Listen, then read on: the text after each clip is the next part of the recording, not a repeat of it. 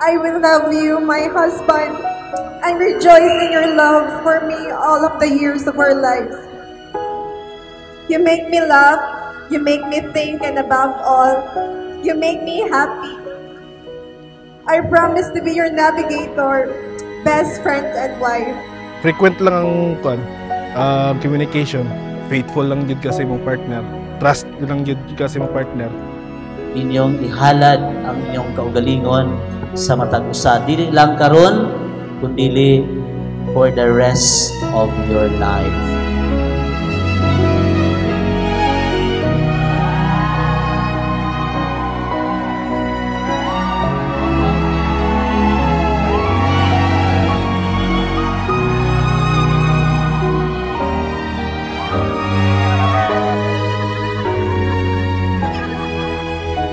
dawaton ba nimo siya nga imong asawa sumala sa lagda sa tuinahan Santa Iglesia Dawaton Padre.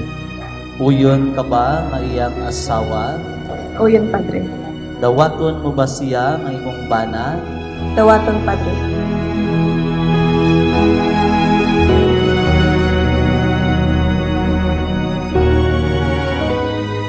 Unta, magpadayon ang iyang kaayo. William is very responsible person and love me for the rest of your life. Congratulations, William and Karen. You may now kiss your wife. Ah, Ling, ah, so happy nga niabot ani nga time. Niabot ani nga kuan nga magpakasal na ta. Unta mag-enjoy na ta today, tomorrow ug sa sunod pa nga mga panahon. Ah, through ups and downs, through thick and thin. Kita ra gyapon dapat. ikaw lang nakabalo sa akong paghilak sa sinihan sa mall. Grabe nga problema pero naka nagpaluyo na gyapon sa kuha. Sa akong mga success sa mga sa akong success sa akong kinabuhi, sa akong mga failures na gyapon ka. Unta sa mga moabot nga mga panahon, magkuyog ra gyapon ka.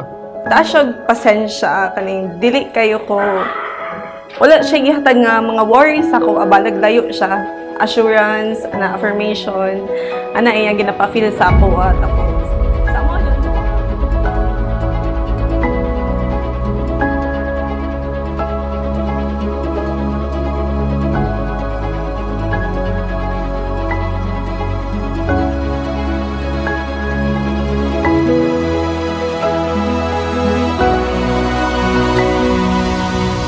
Nag-meet me September, I don't know kung 9 or 11. 9 or 11, 2017. Da sa kakan eh.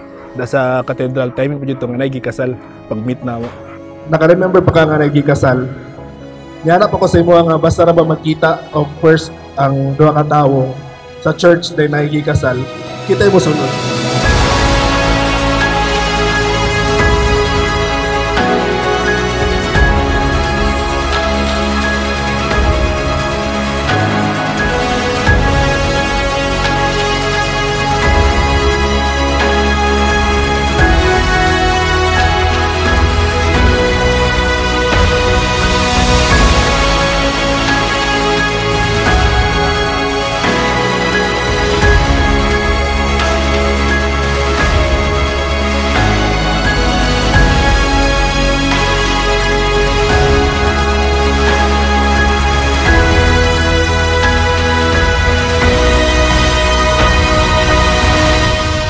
Nag-start na siya pang like sa mga post then naabot siya sa IG naabot siya dadto so nag-wonder ko ah kinsa ni siya so gi-stalk na ako then dito na din nag-start then Dito na dayon, nag-follow-follow na ko sa iya ha. Kana kanang sa Facebook bitaw nga bro siya ang unang mugawas sa imong kuan na siya i-post. Tapos naka-post pa siya sa Insta. Gisundan ako sa Insta. Dito nag-like na din ako halos tanan ng kuan. we found out nga na may common denominator duha then mo to siya na develop na tayo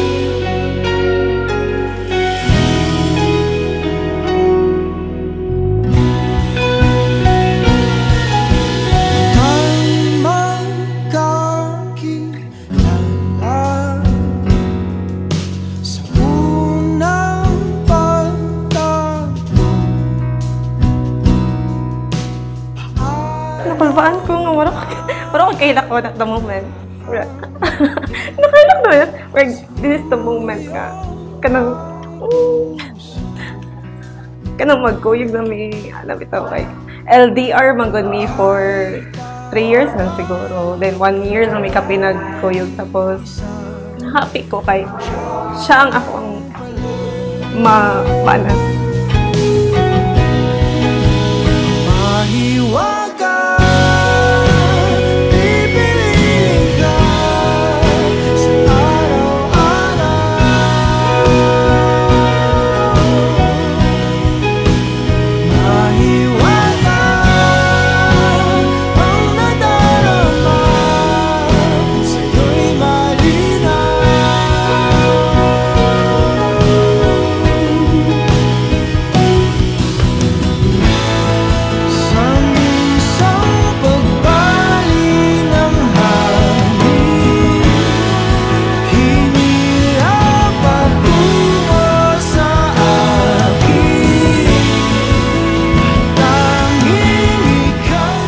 siyang the one God's gift good siya. Actually, pray good na ko ang lalaki nga kung kinsa kong first nga mauyab ano kaning siya pod ang akong future husband. So mo gina siya then gi-pray na ko na sa Ginoo then gihatag ko sa Ginoo and it's him.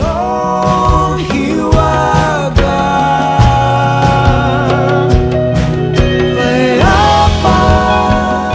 Di, dugay nang guna po na mo ni gitagad nga time nga mabot niya ni. Siya ang universe. Siya gyud ang universe na. Sa karon na kay magminyo naman ni so siya ang universe. Ling, I love you. I love you in every universe. Pipiliin at mamahalin ka araw-araw.